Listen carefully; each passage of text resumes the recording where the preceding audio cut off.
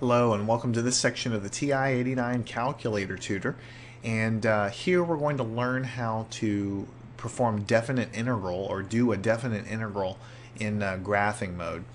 If uh, you don't know what a definite integral is, if you're in algebra and you don't even know what that really means, then uh, feel free to watch a section but don't get too worried about it if you don't quite get it. It's really something from calculus. Um, but I think that most people watching this, I think I'll be able to explain it well enough uh, to be able to do to do that with no problem. Uh, let's go ahead and find, uh, let's go ahead and put a graph on the screen here. Let's do x squared uh, plus 3 and let's graph it and you'll see that it's a parabola that's shifted up a little bit above the x-axis. Okay.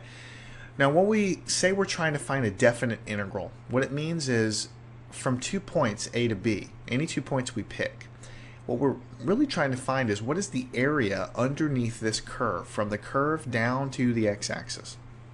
And that's the definition of what a definite integral is in calculus. So we go into the math menu uh, here, F5, and we just did derivative. So just under that is integral f of x dx. That's what this symbology means here. So we go to number 7, and it's asking me for a lower limit. So I told you we have to pick two numbers, a lower limit and an upper limit, and it'll find the area of the curve under, uh, underneath the guy between those two points. Now you can you can find a trace point and do that, but if you have an exact point, you can just type it in, negative 1, let's say, for the lower limit, hit enter. And for the upper limit, which is what it's asking for now, you can go off over here uh, if you'd like and uh, you know choose something but you might pick something exact, 1.5. So from a lower limit of negative 1 to an upper limit of 1.5, it shades the graph and it tells you that the integral of this function over dx is equal to 8.95. So this is exactly the number that you would get if you are in calculus, if you take this equation, find the integral of it, and perform the definite integration, the number that you would get would be 8.95, and it tries to shade it for you. All right, so that's basically in a nutshell how you do it.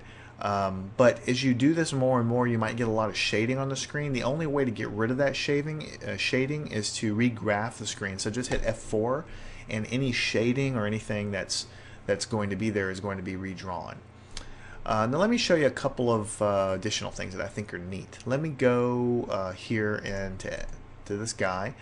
Instead of plus 3, let's do it as um, minus 5, let's say. So we're going to shift it down the other direction.